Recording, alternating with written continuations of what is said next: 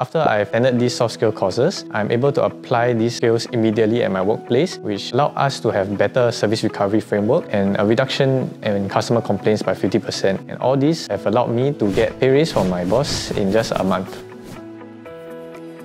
I'm Lim Yu Jie. I'm 27 years old this year and I'm an operations manager at an F&B in Singapore. I was mostly placed in charge to handle customer queries or complaints. I'm new to this industry. I don't have much experience in it. That's why I feel the need to gain these skills to, to better target these problems. The two soft skill courses that I've attended, critical thinking for effective decision making and a crisis and conflict management. What I've learned from the courses was fishbone model. So the fishbone model helps us figure out what exactly the root cause of the problem is. We can then make uh, more effective decisions as to how to eliminate the underlying problem and subsequently all the other problems on the surface. I applied this fishbone model in one of the issues that we have. I have been a lot better at doing service recovery for these customers and as a result we also receive much less customer complaints and all of these helped me receive more recognition at my workplace and this allowed me to receive a pay raise from my company. SkillsFuture has helped us better prepare for what the real world challenges are out there. I believe